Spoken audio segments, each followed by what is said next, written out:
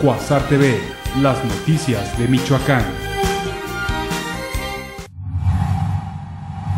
La senadora de la República, Luisa María Calderón Hinojosa, dijo se debe respetar el tiempo para presentar a candidatos y precandidatos a la gubernatura del Estado y no como lo realizó Andrés Manuel López Obrador. Híjole, pues es que yo les he dicho que esperemos un poquito que, que tomemos un poco de estabilidad en el Estado. Todos los días tenemos novedades, este por más que queremos salir del tema, volvemos al tema de la inseguridad. La panista rechazó la culpabilidad que lanzó Andrés Manuel López Obrador contra la estrategia realizada por el expresidente Felipe Calderón. Para Cuasar TV, Felipe Bárcenas.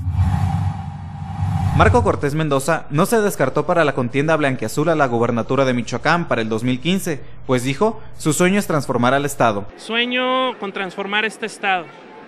Si para hacerlo tengo que ser gobernador, ahí está mi sueño sueño con aportar, sueño con ser parte de que este Estado no siga como hasta ahorita lo hemos tenido. Señaló que ese sueño personal no lo va a anteponer a la unidad del partido, pues ya le tocó vivir un momento difícil. El ex candidato a la presidencia municipal de Morelia se dijo preocupado que los comisionados federales lleguen a Michoacán con una consigna electoral. Para Cuasar TV, Felipe Bárcenas.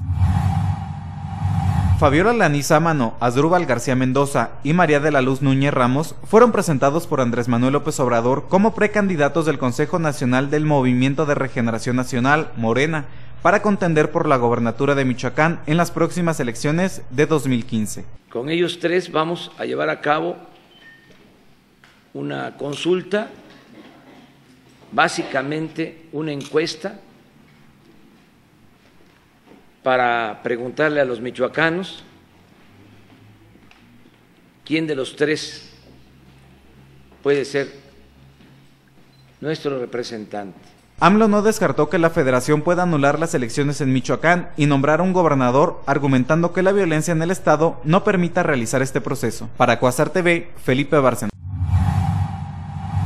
Mujeres maquilladas, algunas con vestido o falda y con zapatos de tacón, pedalearon en sus bicicletas para demostrar su fortaleza, concientizar sobre el uso de este medio de transporte e invitar a los automovilistas a respeto a los ciclistas. Lo único que detiene a una mujer son los frenos de su bicicleta. Reza la pancarta que va al frente del pelotón que inicia la rodada de altura. Con o sin tacones hacemos la diferencia. Entre los objetivos del recorrido ciclista estuvo conmemorar el Día Internacional de la Mujer. Laura de Montero, una de las organizadoras del grupo Visibilízate, comenta la independencia que se siente con sus tacones y bicicleta. Información de Andrea Fernández Informa, Cuasar TV.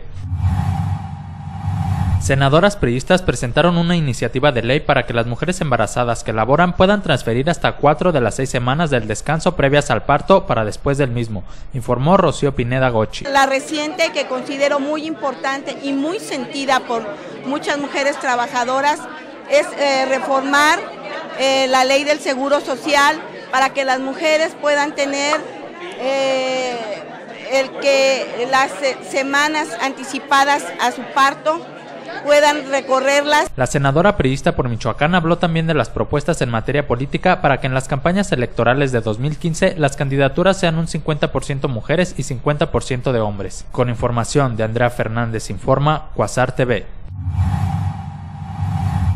De cada 100 mujeres que acuden al Instituto de la Mujer Moreliana, el 42% sufre de violencia psicológica, dio a conocer Rosario Jiménez Zavala, directora de la dependencia en el marco del Día Internacional de la Mujer. Que de cada 100 mujeres que acuden al Instituto de la Mujer Moreliana, en, en el Departamento de Asistencia Social, lo que más sufren es la violencia psicológica en un 42%.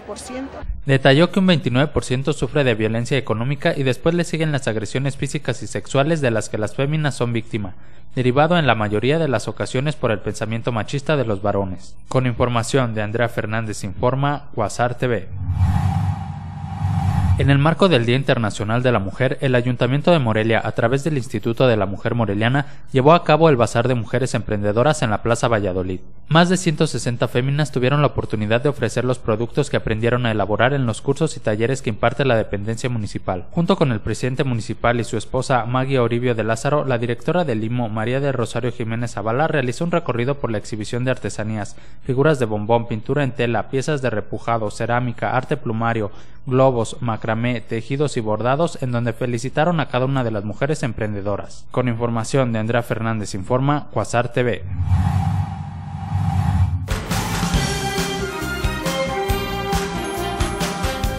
Cuasar TV, las noticias de Michoacán.